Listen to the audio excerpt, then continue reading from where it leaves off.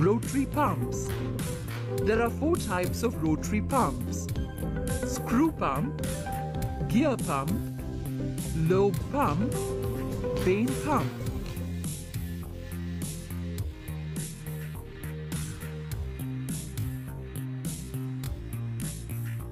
In screw pumps, it is the intermeshing of the threads on the rotors and the close fit of the surrounding housing that creates one or more sets of moving seals in a series between the pump inlet and outlet. These sets of seals or locks, as they are sometimes referred to, act as a labyrinth and provide the screw pump with its positive pressure capability. The successive sets of seals form fully enclosed cavities that move continuously from inlet to outlet. These cavities trap liquid at the inlet and carry it along to the outlet, providing a smooth flow.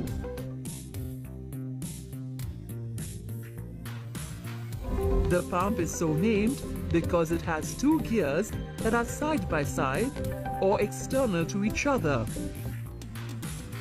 A drive gear that is driven by a motor rotates an idler gear in the opposite direction. When the gears rotate, the liquid which is trapped in the gear teeth spaces between the housing bow and the outside of the gears is transferred from the inlet side of the pump to the outlet side of the pump.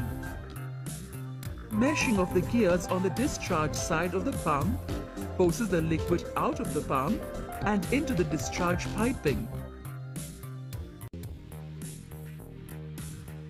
The lobe pump receives its name from the rounded shape of the rotor radial surfaces that permits the rotors to be continuously in contact with each other as they rotate. Lobe pumps can be either single or multiple lobe pumps and carry fluid between their rotor lobes much in the same way as a gear pump does. Unlike gear pumps, however, neither the number of lobes nor their shape permits one rotor to drive the other, and so all true lobe pumps require timing gears.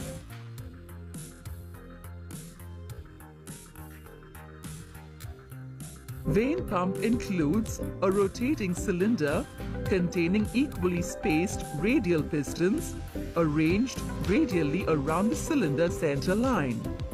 A spring pushes the pistons against the inner surface of an encircling stationary ring mounted eccentric to the cylinder.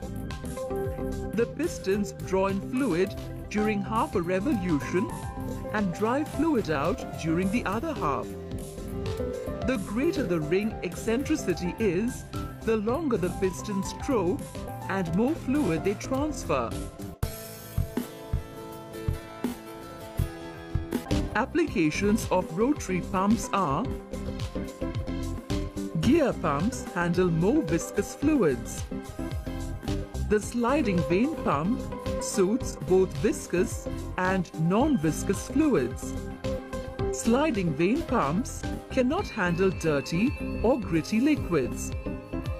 Vane pumps are ideally suited for low viscosity, non-lubricating liquids. Sliding vane pumps are used for vacuum services. Lobe pumps are used for food and beverage processing.